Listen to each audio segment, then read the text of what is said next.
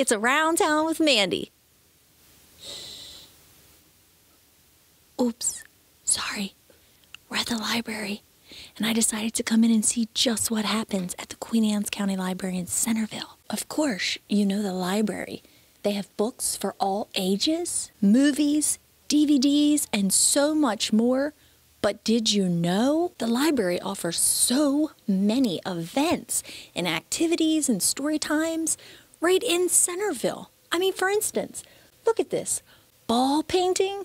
Oh, Tuesday, February 19th. This is amazing. And Baby Shark story time. Do, do, do, do, do. You know that song that everyone loves. That's right, Wednesday the 27th. Oh, this is so much fun. That's just to name a few.